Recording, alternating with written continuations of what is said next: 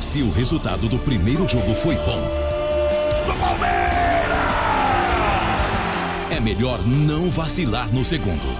Porque do outro lado tem o finalista das duas últimas edições. Um duelo de gigantes. Nesta terça, 9h15 da noite. O Palmeiras encara o River por uma vaga na final da Copa Comembol Libertadores. Aqui no SBT.